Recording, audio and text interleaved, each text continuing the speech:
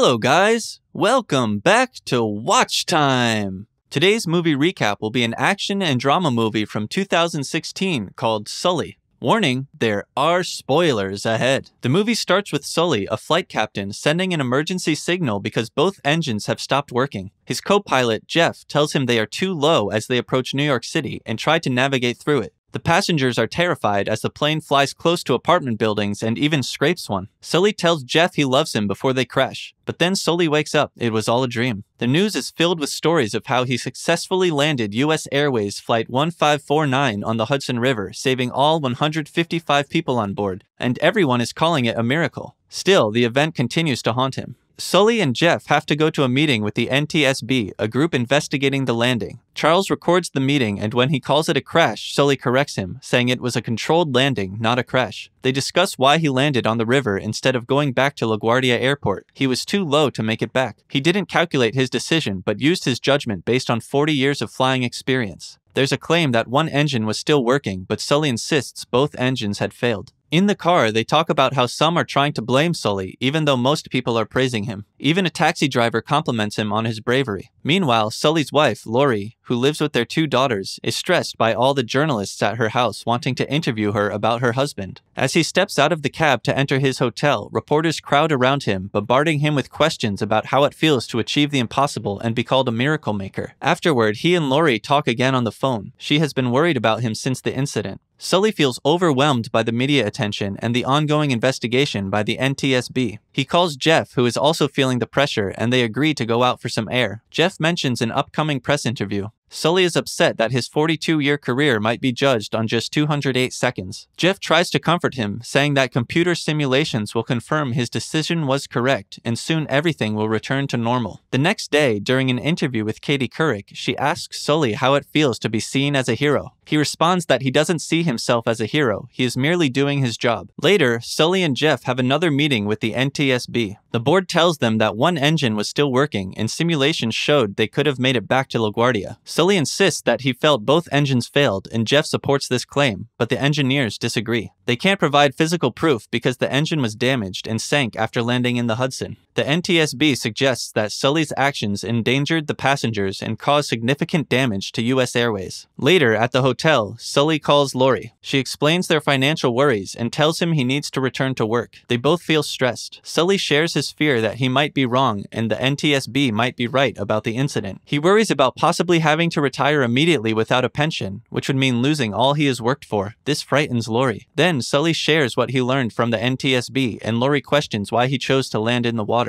Going back to the day of the incident, January 15, 2009, it started as a normal day with the usual checks. Sully and his co pilot, Jeff, take off. About two minutes later, a large flock of birds strikes the engines, causing both to fail. Sully confirms both engines have lost power as the passengers grow increasingly worried. He stays in touch with the control center, which tries to clear a runway for them. Realizing they can't reach any runway, Sully decides to land in the Hudson River.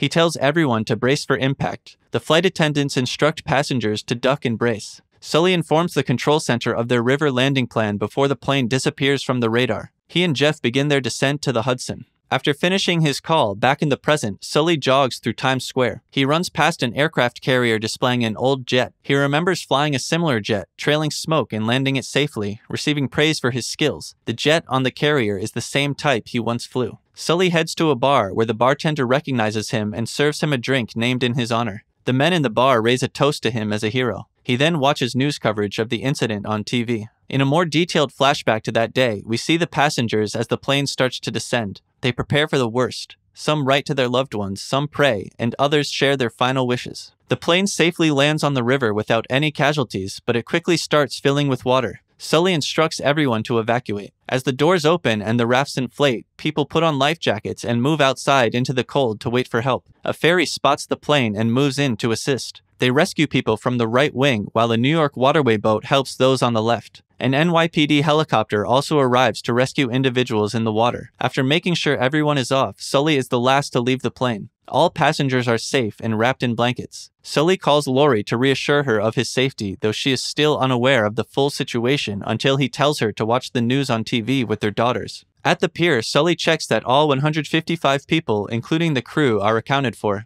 He's very worried. The officers at the scene tell him to relax and leave it to them. He is then taken to a hospital where his boss, Arnie, tells him that all 155 people survived. This news greatly relieves Sully. In the present, a woman on the news comments on how perfectly timed the ferry and NYPD responses were, giving Sully an idea. He calls Larry, a member of the NTSB, asking for a favor. He wants to move up the human simulations to before his testimony, believing that with real pilots instead of computers, the outcomes might differ. If they don't, Sully is prepared to He argues that timing is crucial and anything can be achieved without rushing. Larry agrees to help as much as he can. Right before the hearing, Lori calls Sully, crying, overwhelmed by the realization that he is one of the 155 people at risk. After the call, Sully collects himself and goes into the hearing room where he sits down and Charles starts the hearing. At Sully's request, they carried out a simulated landing with the same weather, altitude, and speed conditions. In the simulation, the pilots immediately head for a runway after the bird strikes and land safely. They also try a scenario aiming for Teterboro Airport, but the outcome is the same a safe landing. Charles questions the pilots about their intentions with these simulations. Sully asks for a more serious approach. Sully points out that the simulations ignored the human factor,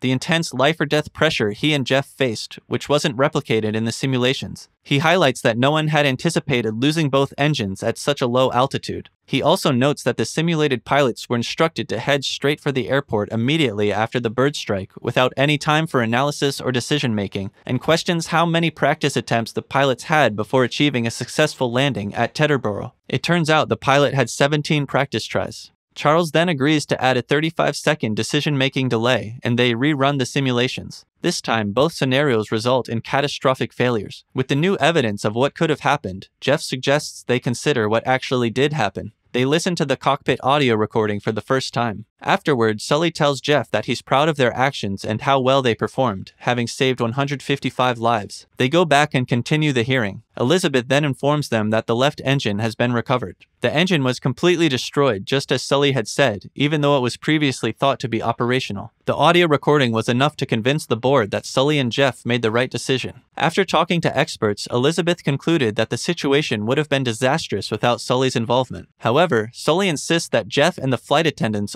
deserve credit for the successful landing. He also praises the rescue workers for their quick actions, noting that they managed to rescue everyone in just 24 minutes. Thanks for watching. Don't forget to give a thumbs up and subscribe. Take care and see you next time.